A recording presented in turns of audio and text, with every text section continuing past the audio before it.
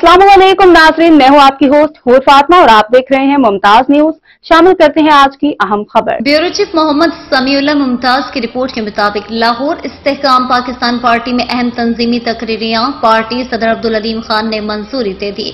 Lahore Rana Nazir Ahmad Khan Istehkam Pakistan party Punjab के सदर और शुएब सिद्दीकी सेक्रेटरी जनरल होंगे। लाहौर मियाँ खालिद महमूद को इस्तेकाम पाकिस्तान पार्टी का एडिशनल सेक्रेटरी जनरल नामजद कर दिया गया।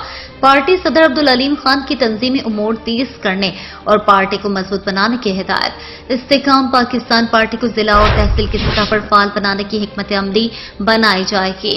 पंजाब के नए पार्टी सदर तमाम शबों को मुतहरक करेंगे। जल्द तंजीमी उमूर तय करने की हिदायत। जनरल सेक्रेटरी पंजाब में पार्टी का सेक्रेटरीट और दीगर उमूर की निगरानी करेंगे।